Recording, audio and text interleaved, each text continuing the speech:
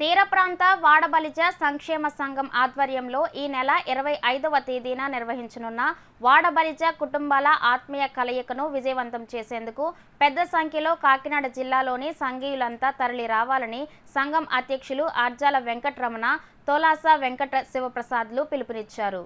Kakinada RL grand హోటల్లో తీర ప్రాంత వాడబలిజ సంక్షేమ సంఘం ఆత్మీయ సమ్మేళనం జరిగింది.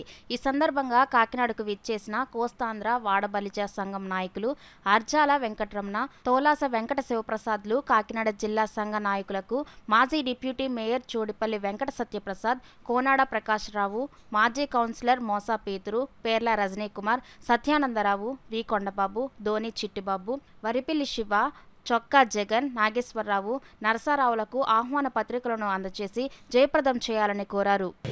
ఈ కాకినాడ పరిసర ప్రాంతాల్లో వాడబలిచే కుటుంబ సభ్యులందరినీ ఆహ్వానించడానికి ఇవాళ ఈ కాకినాడ విచ్చేసాం అంచేత మా గౌరవాన్ని మన్నించి ఇచ్చేస్తారని చెప్పేసి వీళ్ళందరికీ తెలియజేస్తూ ఈ దీని ప్రధాన ఉద్దేశం ఏంటంటే అందరినీ ఐక్యమత్యతో ముందుకి సాగుదామనే ఉద్దేశంతో ఒకరికొకరు ఎక్కడెక్కడ ఉన్నా సరే వాడబలిచే కుటుంబాల తాలూకా వాళ్ళ తాలూకా బాగోగులు కానీ సమస్యలు కానీ ఏవైనా అందరం ఏకమైతే అది పరిష్కార దిశగా ముందుకి ఆలోచనతో ముందుకు తీసుకుపోదామనే ఆలోచనతో మేము అందరం ఒక నిర్ణయానికి వచ్చి విశాఖపట్నంలోనే ఒక మెయిన్ బ్రాంచ్గా ఇది పరంగా ఉన్న మూడు ఐదు వందల ముప్పై మూడు బై రెండు వేల ఏడులో ఇది స్థాపించాం.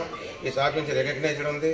కొంతమంది ప్రతి ఊరు కాకినాడ ఉంటుంది ఎగురు దిగురు రకరకాల ఉప్పాడ రకరకాల సంఘాలు ఉంటాయి.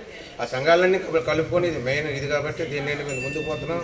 గౌరవ అధ్యక్షులుగా విశాఖపట్నం సౌత్ ఎమ్మెల్యే వాసుపల్లి గణేష్ కుమార్ గారు కూడా దీనికి సహకారాలన్నీ ఆయన అందిస్తున్నారు సంఘానికి.